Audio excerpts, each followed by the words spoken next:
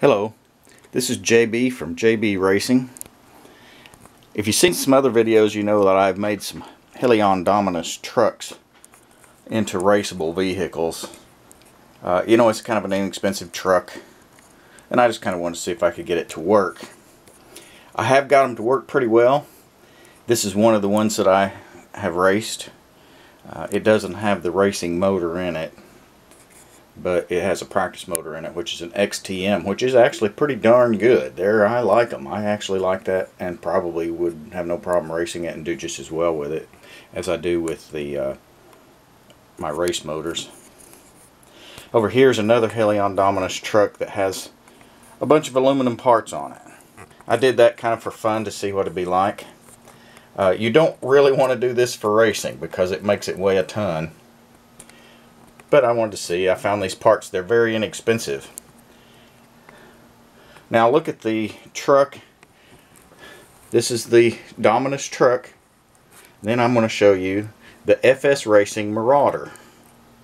This is the FS Racing Marauder. They're ba basically identical. It's really the same thing except the chassis on this is just a little bit shorter. But all the parts will cross over. Which is part of the subject of what I want to talk about. See that little control arm on top? That upper control arm there is an FS Racing part. This is a Helion Dominus part. Note that little notch in there? That little notch is where these things break. I don't know why they thought it was important to do that at Helion, but it does not exist on the FS part. They are absolutely identical otherwise. They're the same exact part.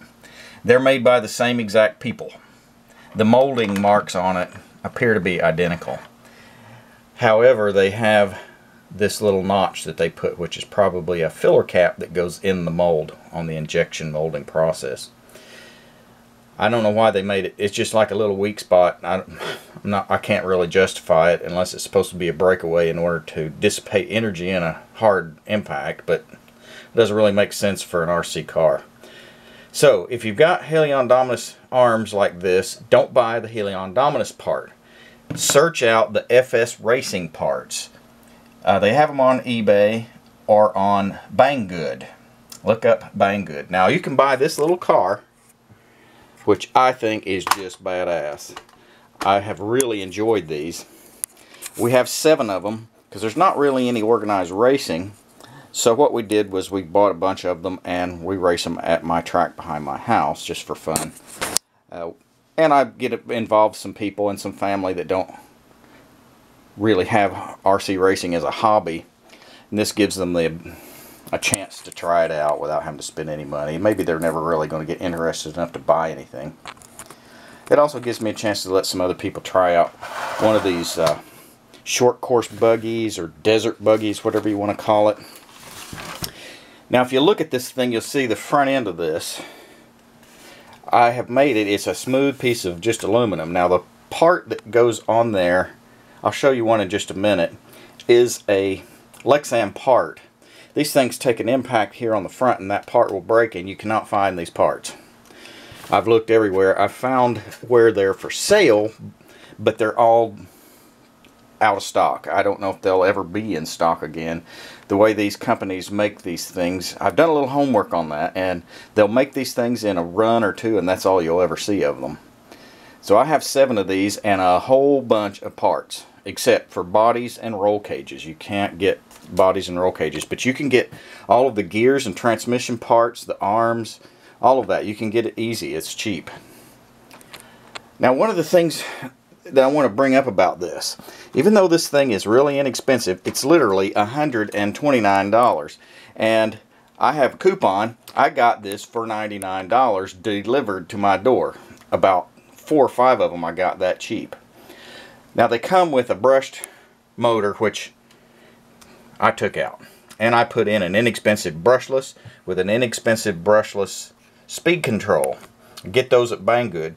The servo on these isn't too bad. It's good enough. But if some one of them starts giving me problems, I yank those out and I put in a better speed control. And there are lots of really good steering speed controls out there that aren't all that expensive, between 25 and 40 bucks for a speed control that'll hold up good enough for some fun racing. On my race cars, when I my serious race cars, that's the servo. I don't think there's anything better out there uh, in my experience. So there's some other ones I think are probably just as good, but I don't think you can get really much better than that. That's very fast and strong.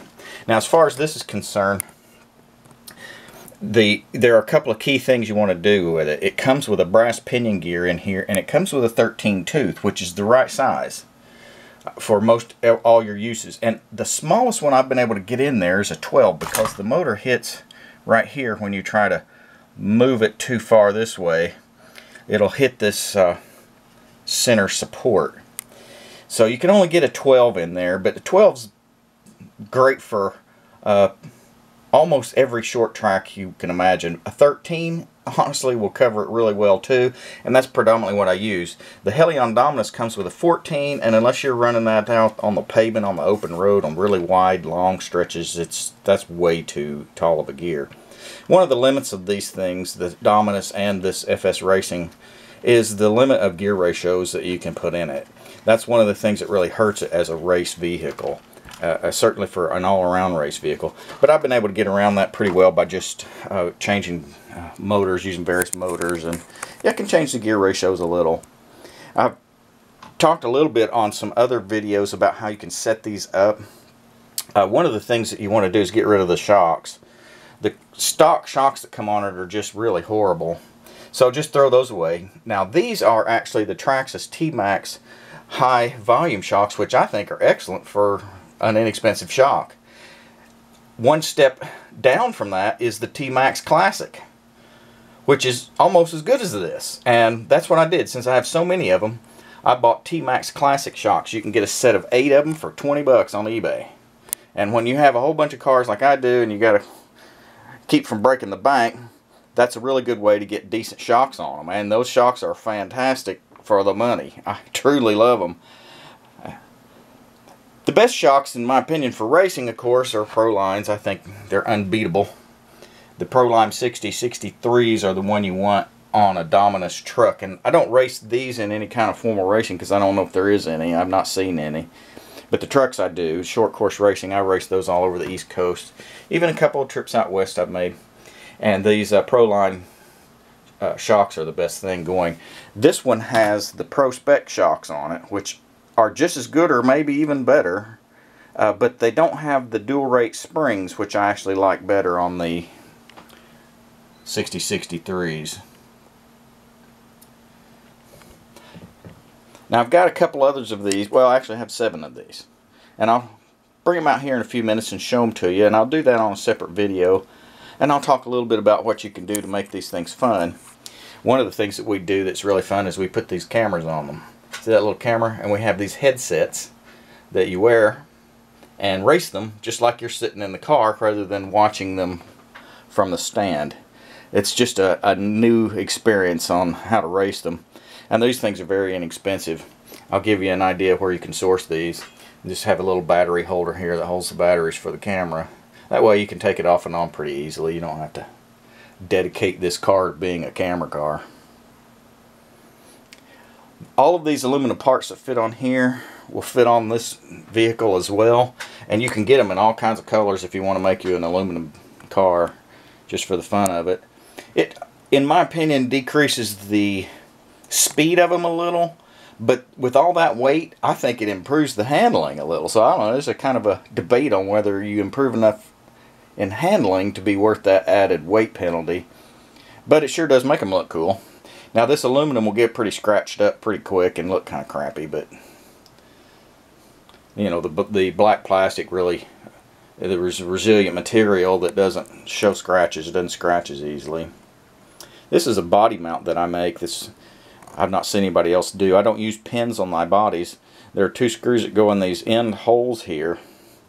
And uh, they are a wide cap screw so they dis disperse the uh, pressure on the body, the Lexan body, and decrease tear out. And it's just a slicker, cleaner look.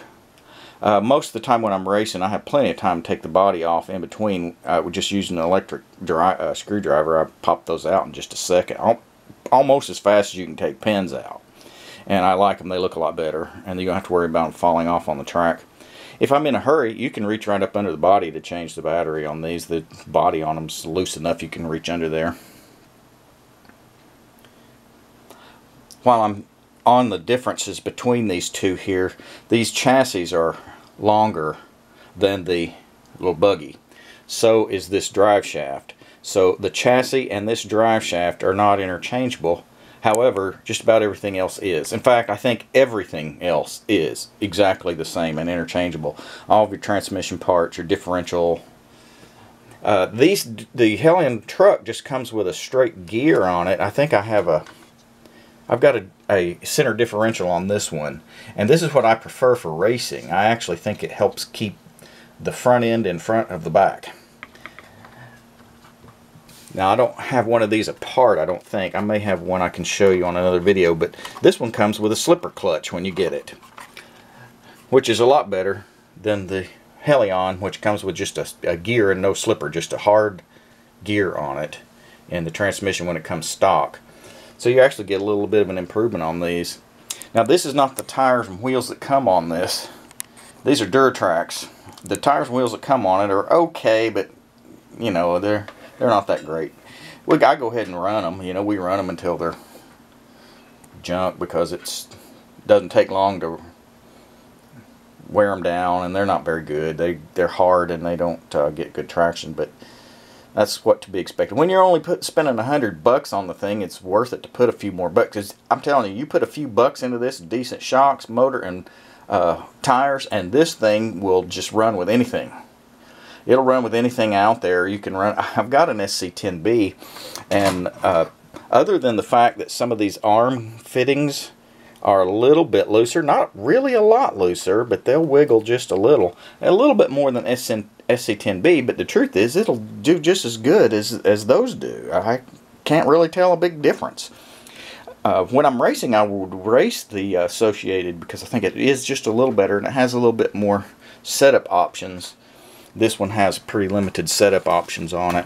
You don't really have any roll center adjustment except what you have out here. Um, you don't have any way to get your anti-squat except just to shim it. Uh, if I really cared about it, I would shim the front here and decrease the anti-squat a little. And the only thing you have for your caster angle is this little thing here that you can move either to the front or back. Your caster angle is not all that adjustable, but everything else on it is pretty adjustable. And you don't really need it. And the truth of it is, a little bit of adjustment on this is all you need because when you get out there banging around track, you can't tell the difference of a little bit of a looser arm you just really can't tell it. That's just the bottom line. You're just spending money uh, because somebody's telling you it's better. If you really want to get to be a good racer, get out there and get you a, a couple of cars and just beat the crap out of them and run that track as many times as you can make yourself run it.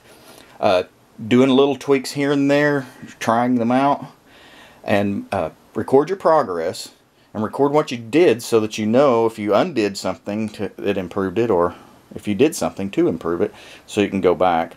But for the most part, run a million laps. That's the secret. Well, I'm going to go make another quick video on just a few of these buggies so that you can see them and show you a little bit inside them, just a little bit more. Until next video, see ya.